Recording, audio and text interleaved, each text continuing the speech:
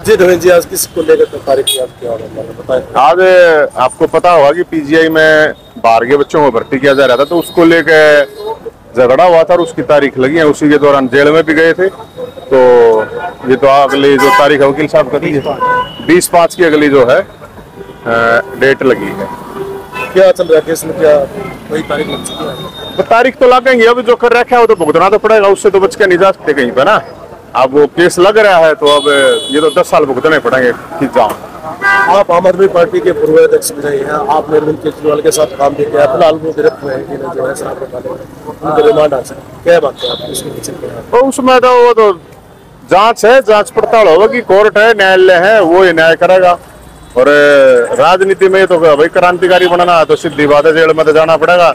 अगर कुछ गलत नहीं कर रखा है तो न्यायालय छोड़ देगा नहीं तो भाई फिर जेल तो काटनी पड़ेगी। जी एक पिछले दिनों चल रहा था कि रोहतक से आपके भारतीय जनता पार्टी की टिकट मिल सकती है पूरा चला।